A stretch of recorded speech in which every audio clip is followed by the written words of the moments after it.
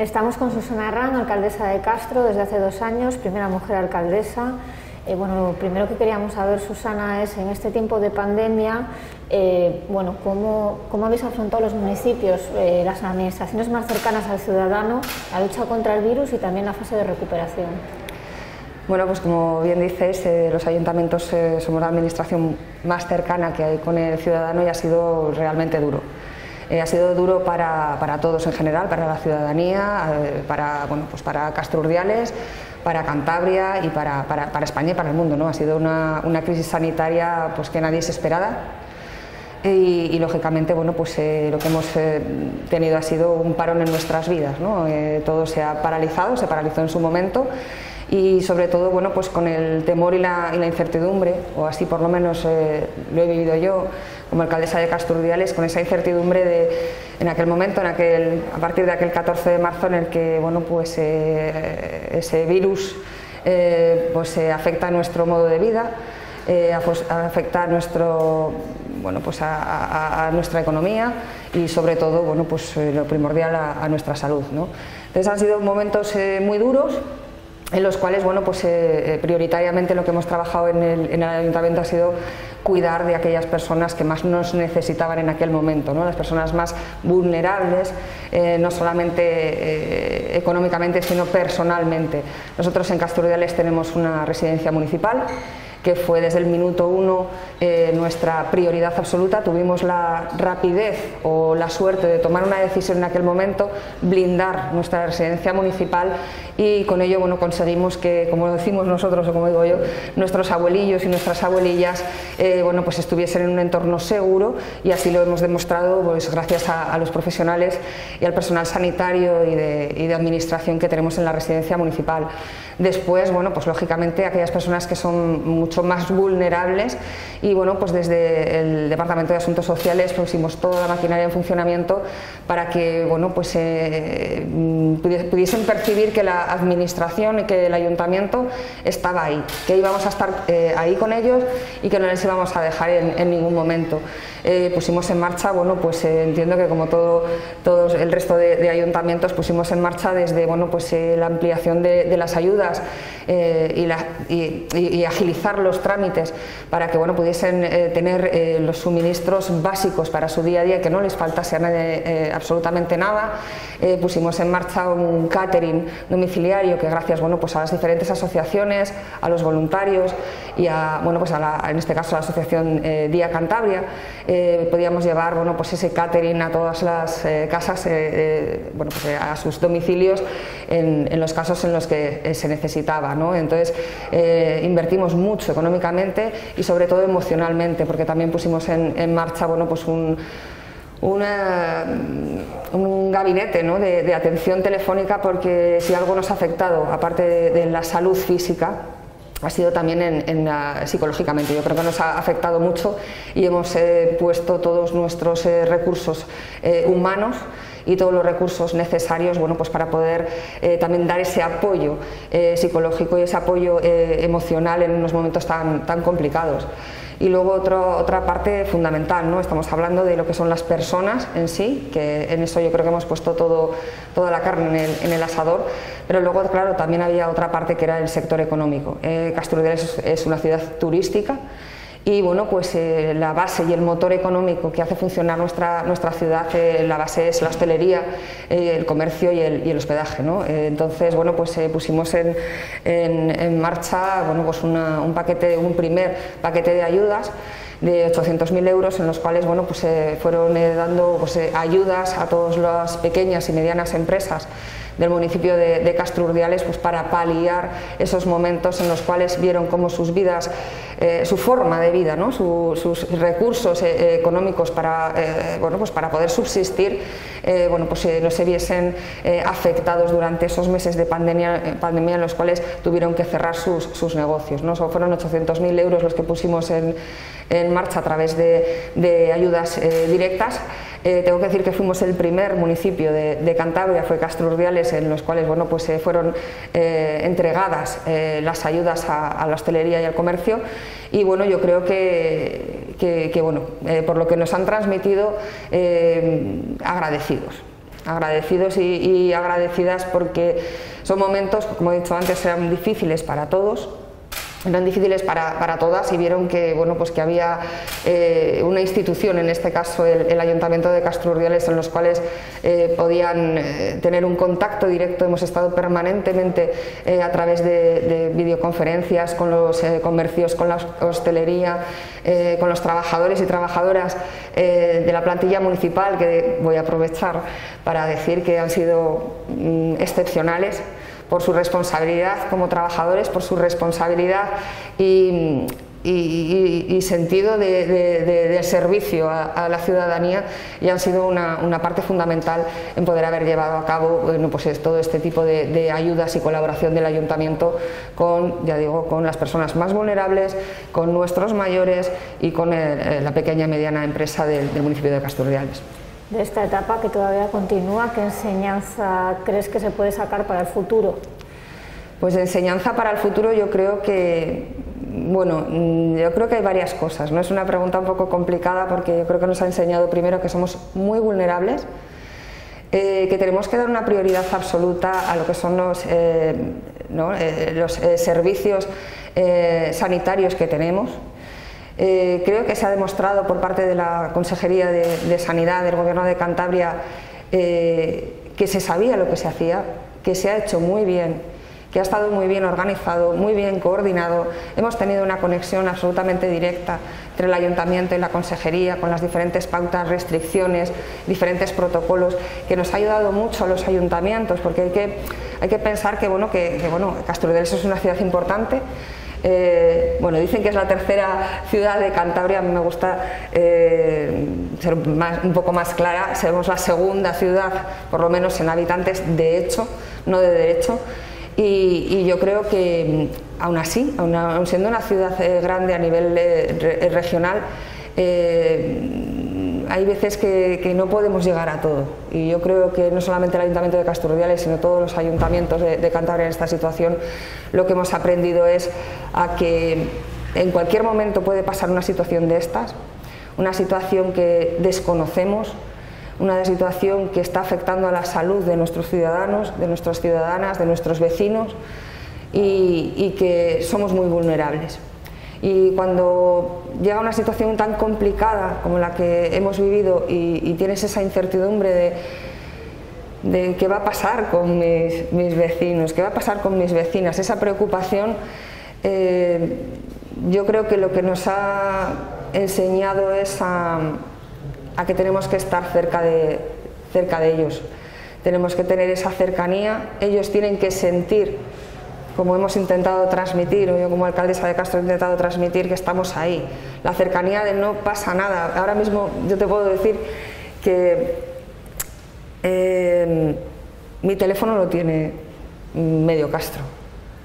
Y puede parecer, bueno, como decir, no, esta, esta, mujer está, está loca, no, no me importa.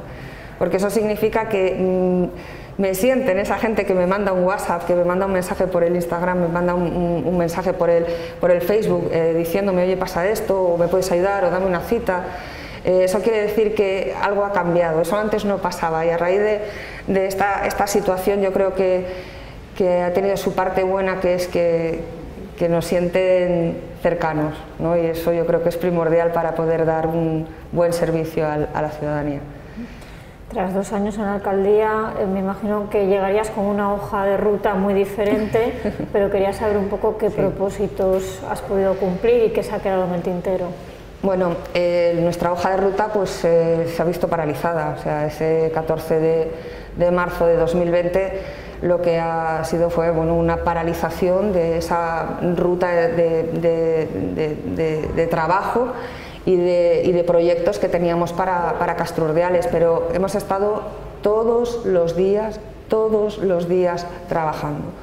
Y hemos estado trabajando, eh, como te comentaba antes, los funcionarios y funcionarias del Ayuntamiento de Casturdiales, eh, bueno, armamos un, protocolo nuevo en el cual bueno, pues todos teletrabajaban desde sus viviendas, desde sus casas, desde sus domicilios. Fue muy costoso organizar, claro, somos eh, aproximadamente unos 250 eh, eh, trabajadores y trabajadoras los que componen la plantilla municipal y claro, había que dotarles de los medios materiales necesarios para que pudiesen trabajar desde sus domicilios. No hemos parado ni un solo momento.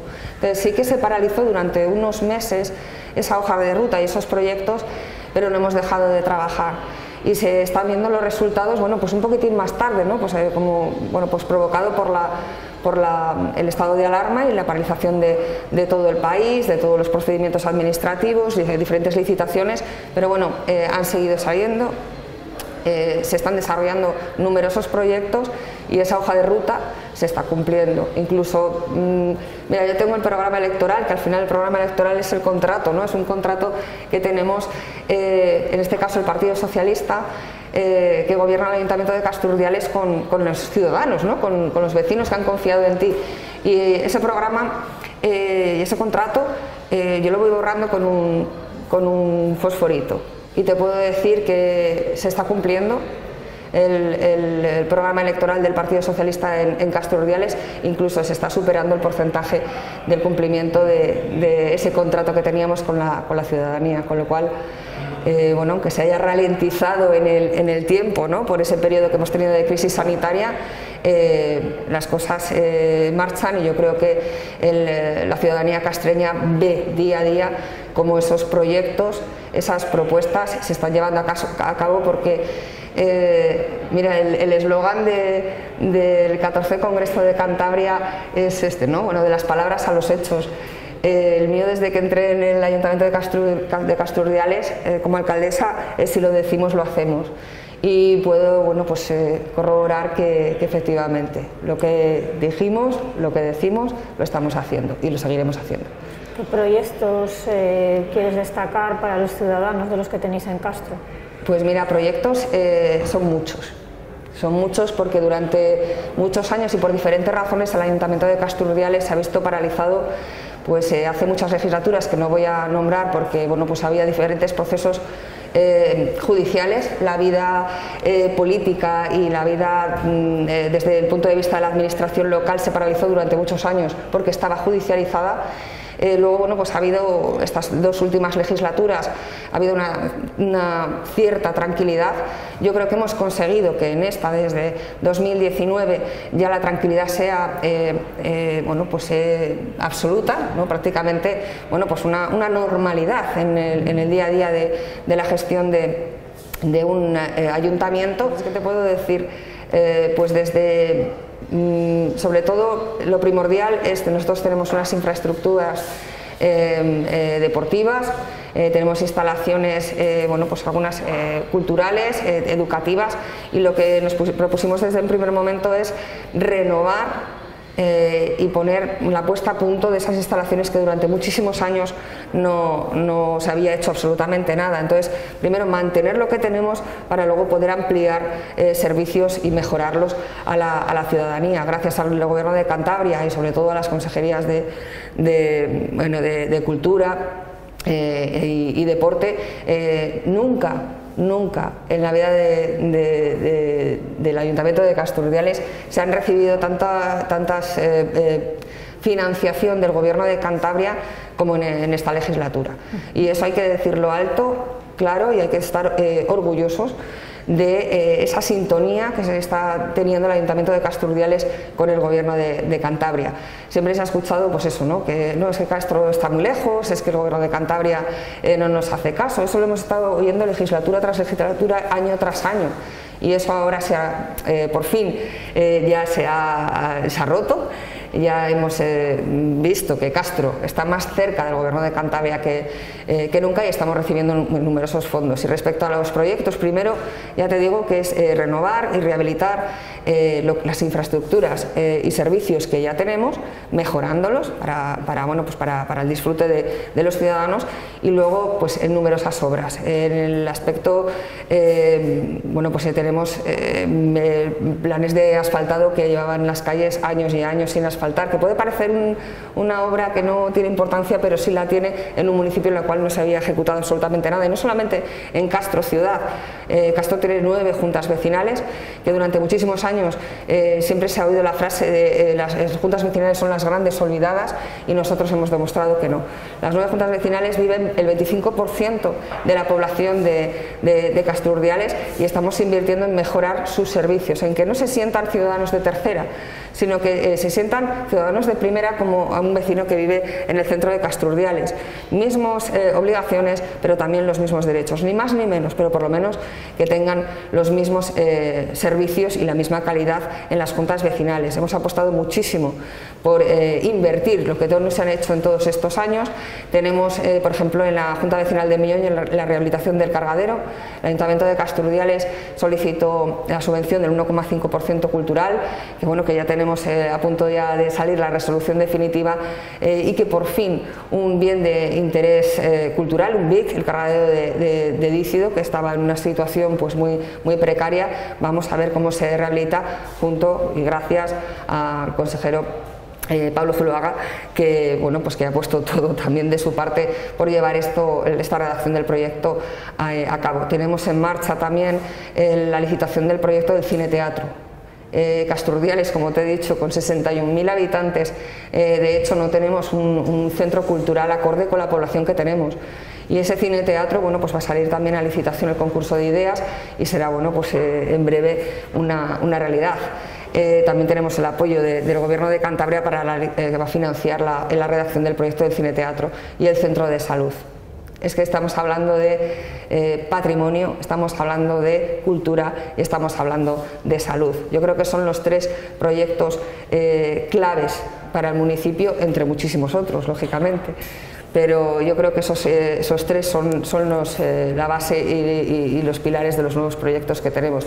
Entre otras cosas también, pues ya te digo, la mejora de los servicios, ampliando el, contrato de limpieza eh, urbana, porque bueno, teníamos un contrato hace muchísimo tiempo y, lógicamente Castro eh, bueno, pues ha tenido un crecimiento en, el número de, bueno, pues de, viviendas eh, exponencial y, no estaban recogidos en ese contrato, con lo cual hemos ampliado el servicio de limpieza y recogida de basuras en el municipio, el servicio de, parques y, jardines también, que lo hemos eh, ampliado para dotar de este servicio también a las, juntas, a las nueve juntas vecinales del, municipio, eh, la rehabilitación y arreglo del paseo de, Ostende, eh, hemos solicitado, bueno, nos hemos presentado todas las subvenciones del mundo, porque eso lo teníamos clarísimo.